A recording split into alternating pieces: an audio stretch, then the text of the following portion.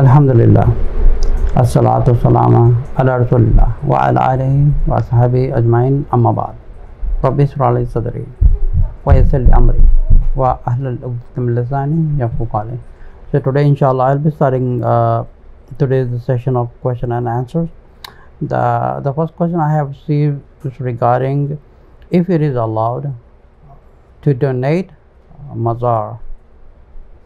Uh, donating to mazar is not allowed because that basically uh, there's no difference between the the temple the church and the mandir uh, and uh, synagogue and uh, there's no difference between the mazar and other religious uh, places where the non-muslims worship. So giving a donation or the sadaqah or anything to mazar it's like you are supporting a shirk.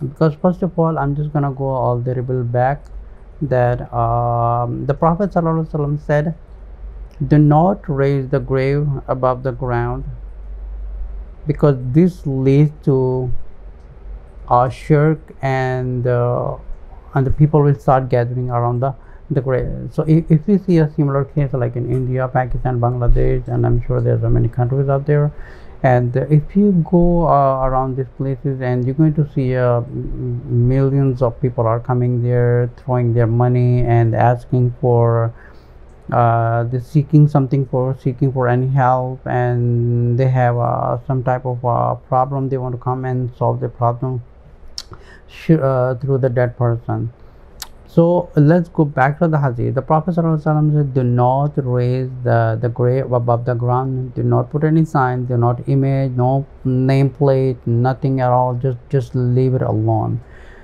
So now coming to the question that automatically answers all the questions. That first of all, it's not allowed to build any type of shrine or mazar or anything, and that's all haram and that's a shirk and it's not supposed to be there and this should be destroyed. And donating to uh, such a place for sadaqah or anything is not accepted. Because if you want to do a sadaqah you can give to the hunger person you can go to, any organization who is doing some good deed you can go to an islamic school or any someone in a need you can give to sadaqah anyone. But giving a sadaqah or anything uh, to uh, the place of shirk is like basically you are supporting a shirk because you are spreading shirk rather than uh, you, rather than canceling that or rather than finishing that you're supporting the shirk so it is not allowed to give the sadaqah because that is not being accepted أشرقت نفسي بنفسي